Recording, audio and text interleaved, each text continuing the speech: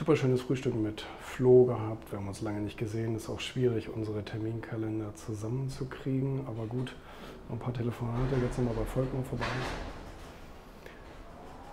Und dann müssen wir nachher noch Druckfreigabe für Sachwertmagazin machen. Dann haben wir es. Dann ist es das. Aber das ist in den deutschen Köpfen noch nicht so drin, dieses Portfolio-Denken. Generell nicht. Auch bei Aktien nicht oder bei Vermögensanlagen anderer Art, im Sachwertsektor oder so ähnlich. Die Leute kapieren nicht, dass man. Man kann ja nie zu 100% richtig liegen. Das schafft kein Buffett, das schafft niemand.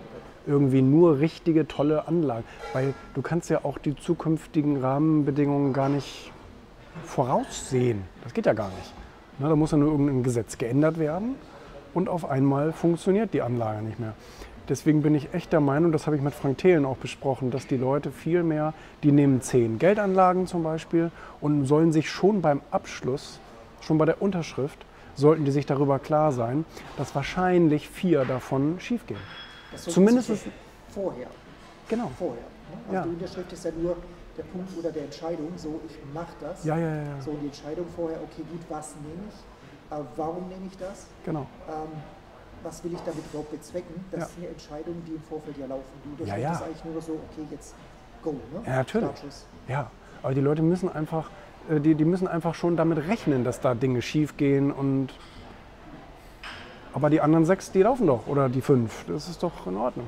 Das ist doch eine Mischkalkulation, ne? anstatt sich auf diesen einen Schiefläufer zu konzentrieren, immer aufs ganze Portfolio zu konzentrieren. Ne? Ja. Ich glaube, dass manchmal in der Schule oder sehr oft in der Schule einfach nicht drauf eingegangen wird. Nein, in der Schule sowieso nicht.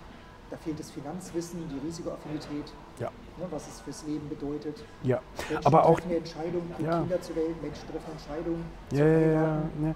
Wobei es aber ja auch, ich meine, es sind aber ja auch jahrzehntelang die Banken und so gewesen, die sagen, risikolos und ohne Risiko und hier können sie was machen ohne Risiko und bla bla bla. Die, damit wurde, Staat, damit, Staat, damit wurde den. Leuten ja aber eingetrichtert, dass Risiko was Schlechtes ist. Aber Risiko ist ja etwas Neutrales. Das ist ja, das ist ja weder gut noch schlecht. Risiko ist ja einfach nur, dass man sich bewusst wird, Dinge funktionieren und Dinge funktionieren nicht. Das ist Yin und Yang. Abends wird es auch dunkel. Das ist einfach so. Das ist normal. Harald Glückler hat mir letztens so ein Video geschickt. Äh, da, fragte das, da fragte das der Schüler den Lehrer, Herr Lehrer, gibt es Kälte und gibt es Dunkelheit? Und dann sagte der Lehrer, ja natürlich. Und dann sagte das Kind, nee, das stimmt aber gar nicht. Kälte ist ja nur das Fehlen von Wärme und Dunkelheit ist ja nur das Fehlen von Licht.